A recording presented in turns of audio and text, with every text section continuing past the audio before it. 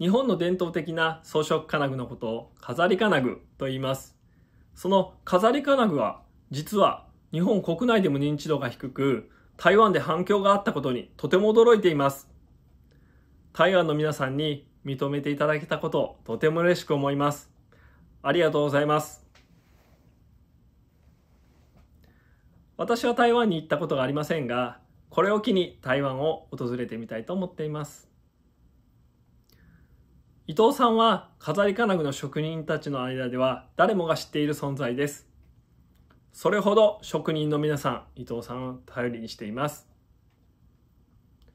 ですので、伊藤さんとは私の父の代からのお付き合いです。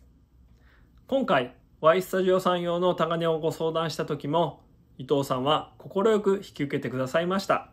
いつも頼りにしています。私は飾り金具のその最大の特徴でもある華やかな装飾によって使う人の気分が明るくなることを願っています。今回台湾の皆さんにここまで喜んでいただけてその思いが伝わったことを感じとても嬉しく思っています。私たちの作る飾り金具は仏壇や神社仏閣に使われることがほとんどで一般の方に向けての商品はありませんでした。そこで現在飾り金具をもっと身近に感じてもらうため、日常生活で楽しめるものを作っており、それらを飾りのという自社ブランドで販売しています。